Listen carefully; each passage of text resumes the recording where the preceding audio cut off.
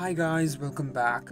Today we're going to talk about Secret Wars and how Marvel intends to soft reboot the MCU as a whole. Now Phase 4 and Phase 5 have not been able to perform as much as it should, and the current characters of the MCU are more trolled than loved. But Marvel says that even after 31 movies, Marvel has just begun, and there are an infinite amount of new characters to be introduced in the upcoming years.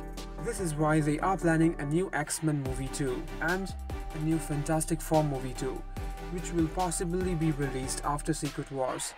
Secret Wars is also set to have Tobey Maguire and is about to bring a bunch of other characters who are dead now back to life, as they will play a huge role in the soft reboot of the whole MCU.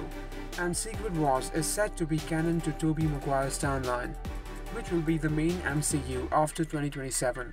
So guys, stay tuned for further more updates and if you guys enjoyed, please like, comment, share and subscribe if you haven't. Thank you.